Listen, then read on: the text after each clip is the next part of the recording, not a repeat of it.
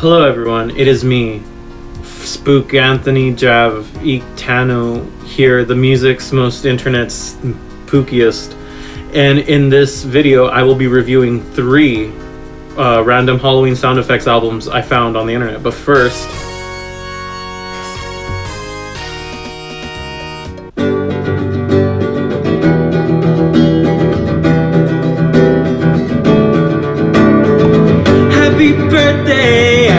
Anthony Fantano. You were born approximately three decades ago. I want to thank you for putting me on that podcast with H3H3 Productions, even though I was stoned off my ass. But I digress. I really want to thank you for helping me get exposure. Happy birthday, Anthony. Memes. I want to thank you for appearing in my video about reviewing music seriously. It was like a dream come true. Thanks to you, I owe most of my video views. It's true. You're the king of music. You also have the best teeth in the game.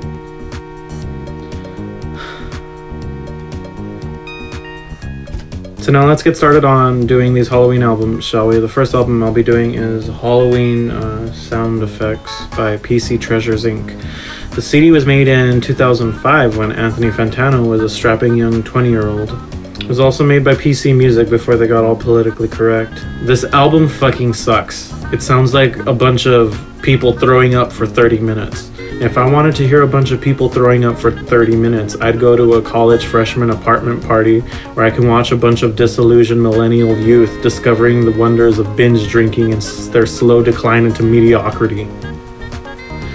There's no substance to this album. The cover says frighten your friends, maybe even yourself. And upon listening to this album, I started getting scared because I was like, the only cool thing about this album is the stereo effects. Like you can hear a cat screech go from the right ear to the left ear, but of course this is backwards because the way you're viewing it. The detuned piano synths and strings don't even scare me at all. It just sounds like Grimes' first album. The soundscapes don't make sense whatsoever at all. Like there's a part where this man is just screaming no with like an echo reverb and there's all these animal growling eating noises and sounds like Hitler's giving a blowjob in the background. It's like why? The next album is this one, um, Halloween Sounds of Horror by Viterex International LDT. This sounds exactly like a vaporwave project. However, this 45 minute long, spooky, spine tingling adventure into atmosphere actually immersed me into a world of horror. It's way more immersive than anything Dream Catalog has pooped out. LOL, JK, I'd like talking shit about all you vaporwavers because you guys are really elitist and mean to me on the internet. This album was released in 1995 when Ant Fant was only 10 years old, and this album is way better than the last album, even though it was made a decade before. It's actually very much like a trance track. There's like this distorted kick mimicking the, the human heartbeat that just like draws you in, and the tempo creates this otherworldly schizophrenic fever dream. In fact, the reverb vocals and the sounds, the, the noises are actually evenly spread throughout the entire album in a manner where I forgot I was listening to it. So like this morning when I was making tacos for breakfast, like I just made tacos to the sounds of, you know, people moaning and reverb. It's actually really surprisingly good. So if you have nothing better to do on Halloween night, you can just pop on this album and get spooky with yourself, if you know what I mean. The final album I listened to is actually these two albums uh, mashed together and then reverberated and reversed and stuff. It's actually really cool. Um, the first two albums were released in 1985 when our Lord and Savior was first born.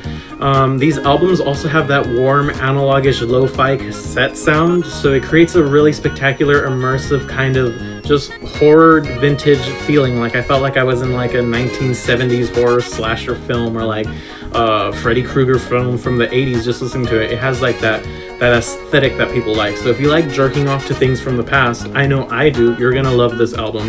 The mashup album was created by YouTube user Michael Hansen Fun, and I found that in the the comments in the, the video.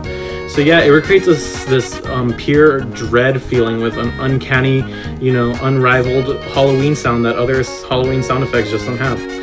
So thank you for watching this video. If you want to listen to the albums I talked about in this video, go to the unlisted playlist I put somewhere and it's probably in the description, probably in that little button thing that's right here. So yeah, tell me what you think, and if you want me to review more spooky things, I'm your host, uh, Spooky uh, Japanese Adult Video, reminding you to create forever.